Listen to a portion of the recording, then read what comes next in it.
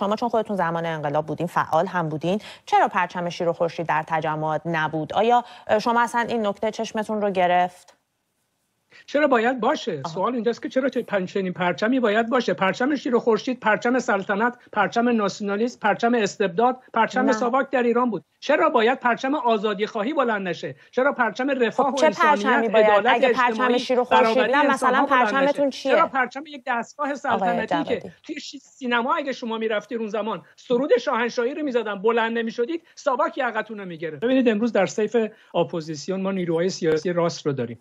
مثلا نیروی رو داریم مانند فرشگرد که تماما فاشیزمه تماما فاشیسته. و یا ما برفرض گرایشی رو داریم که امروزه ساواک رو طی یک مستند مضحک مانند مستندی که تلویزیون منوتو ایجاد کرده علم کرده و یک شکنجهگر رو که در رأس سازمان امنیت و اطلاعات کل کشور قرار داشته دوباره داره چهرش رو بازسازی می‌کنه. می‌خواد به خورد مردم بده آقای جوادی در رابطه با مستند آقای پرویز ثابتی هفته پیش من برنامه داشتم. اتفاقا یکی از افرادی هم که مخالف بود در برنامه حضور داشت. به تفسیر در رابطه باهاش صحبت شد. می‌خواید این جریان رو شستشو بدید به جامعه ایران. رضا شاه دارای تمایلات فاشیستی بود.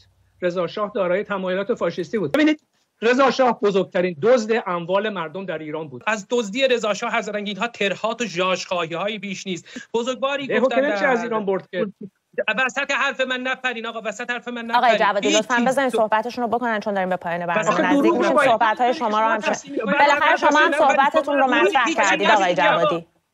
آقای جوادی شما هم صحبتتون رو مطرح کردین